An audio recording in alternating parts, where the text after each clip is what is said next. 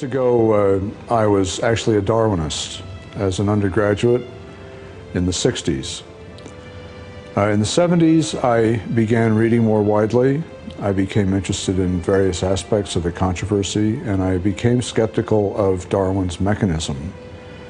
The idea that variation and selection can produce new species and organs and body plans. But I wasn't skeptical of common ancestry until much later. In fact, it wasn't until I became a graduate student at the University of California at Berkeley and began to look at the evidence for common ancestry that I became skeptical of that. My specialty was embryology, so the first thing I noticed was that the embryo drawings in biology textbooks are not, uh, do not represent the embryos. The actual embryos look quite different. And from there, I went and looked at other evidence for common ancestry and realized that uh, it's actually not a fact, as Darwin's claim it is. In fact, it's a very speculative hypothesis. And uh, my skepticism has been growing since then. It seems that every time I learn something new about biology, I'm even more skeptical of Darwin's theory. The more I learn, the worse it gets. Core of Darwin's theory is actually the idea that small changes within existing species, or microevolution, lead over time to macroevolution, or the origin of new species, new body plans, new organs. And Darwin had no evidence for that. In fact, he had no evidence for natural selection. All he could offer in the origin of species was what he called uh, a few imaginary illustrations of natural selection. Well, now we have evidence for natural selection, but it only produces small changes within existing species. Well, Darwin didn't write a book called How Existing Species Change Over Time. If he had, it would have been a crashing bore. He wrote a book called The Origin of Species by Means of Natural Selection. And for this, we have no evidence. Nobody has ever observed the origin of a new species by variation and selection. There have been reports in the, in the literature, but they all turn out to be exaggerated or false.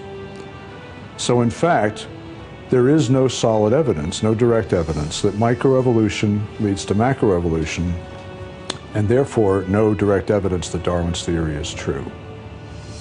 The biggest thing we know now that Darwin didn't know is genetics. Uh, interestingly enough, Mendel, Gregor Mendel, who founded the discipline of genetics, wrote during Darwin's lifetime uh, but his theory of genetics contradicted Darwin's, and so Darwinists ignored Mendel. Finally, in the 1930s, Darwinists embraced, embraced Mendel's theory of genetics because by then there was considerable ev evidence for it. But uh, the, the mix, the, the combination has never been quite uh, as smooth as we are sometimes led to believe.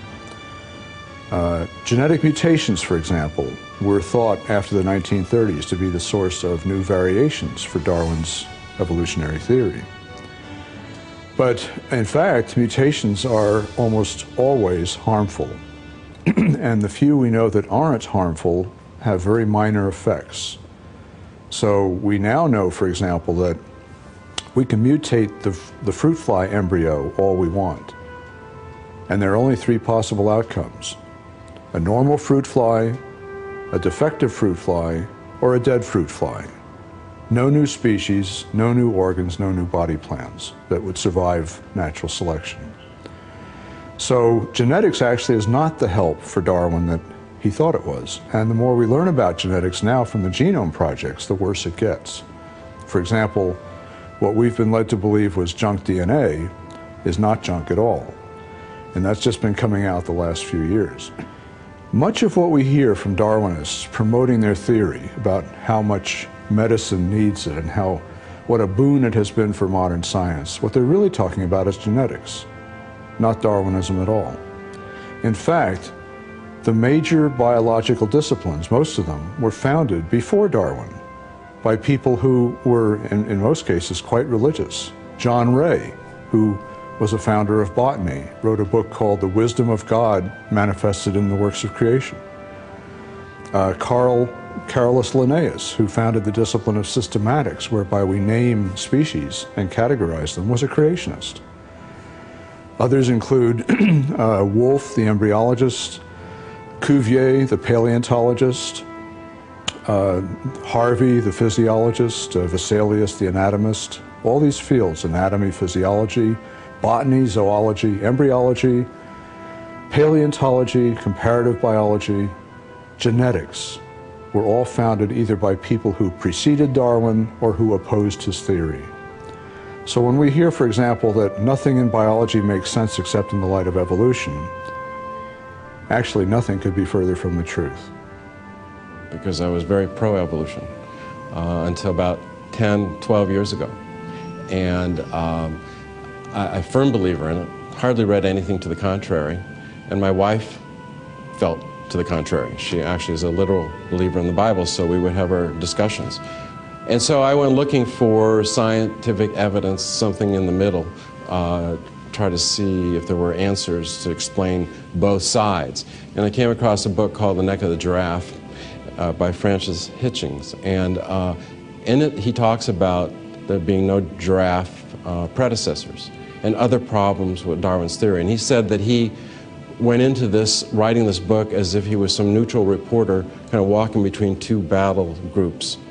And he just kind of found himself swerving over to the anti Darwin stuff because every, things were missing. Things were missing in the monkey fossils, things were missing in the whale fossils, things were missing in the giraffe fossils, and there were just so many jumps, uh, so many links that were missing. And so I went from that book to Michael Behe's book, uh, his Black Box, and then I went into some of William Dembski's books, and then the, and the whole host of uh, other uh, writers, uh, Jonathan Wells, and uh, a lot of people in the Discovery Institute, and uh, and it got to be more and more interesting. Wait a second here, there's some problems, and so I was open to it, and maybe partly because I'm an MD, my profession, my income, what I do for a livelihood, wouldn't be threatened. So I, you know, I could say, hey, wait a second, maybe I had it wrong. But I'm not a creationist. I'm actually Jewish, and I'm not a Christian. But I get accused of being a Christian fundamentalist and a variety of other obnoxious things, which I don't literally consider obnoxious, but the people who say them think it's obnoxious. And at Caltech, when I was studying um, molecular genetics, um, I was uh, sitting in a lecture uh, learning about the trp operon, how the cell um, accomplishes control of the process for making one of the amino acids. It's the largest amino acid called tryptophan.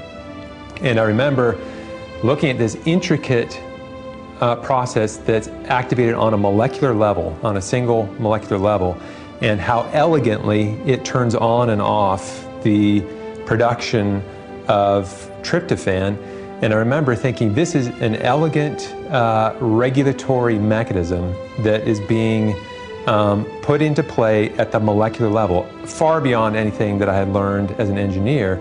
And I remember thinking at the time that this looks like something not just the product of engineering, but the product of brilliant engineering. And that was the point where uh, it occurred to me that someone needed to do the experiments to test whether that was really the case or not. I remember having these discussions with friends and saying, "Don't you think this is a little weird?" and uh, it's it's strange how your preconceptions really color the way you process data, and some people just went along with what they were taught, and I never tended to do that. I was always questioning what I was taught, including Darwinism. There are challenges to Darwinism, although I can understand why some people with a very cursory reading of the literature might think there are very few. One of the reasons for that is the people who are finding things that don't square with Darwinism, A,